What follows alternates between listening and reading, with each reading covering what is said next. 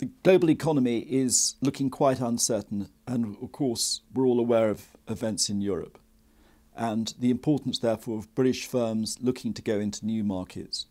And it's in those markets where risk capacity from private banks or private insurers may be constrained, where there's a key role for a UK government agency to step in and help. Other countries have export credit agencies. They're used across all the OECD exporting countries.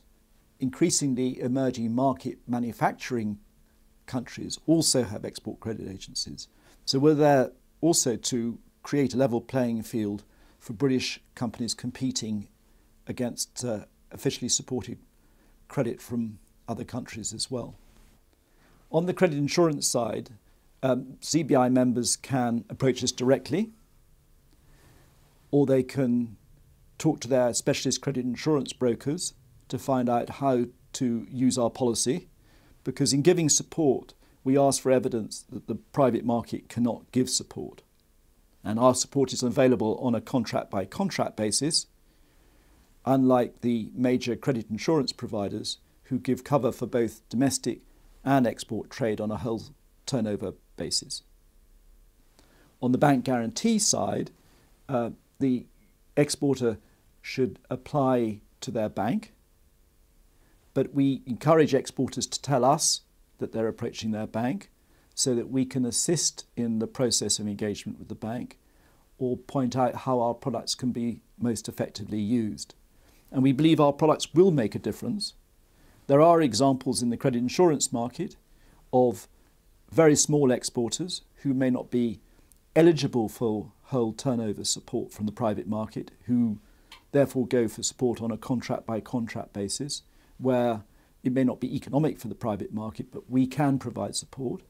There will be markets like Libya or in Central Asia where there is no private market provision or very limited market provision. We're providing support to a wallpaper manufacturer, Graham and Brown, in relation to exports to the Ukraine as well as to Libya.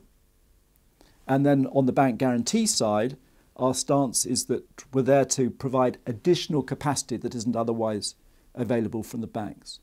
And the way we do that is by saying that we do not need to support the fixed and floating charges that the banks have over the assets of the exporter.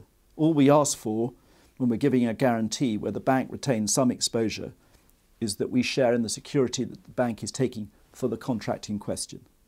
But we're not sharing in the fixed and floating charges, and therefore our support should be genuinely additional to the financial support they can get from their bank.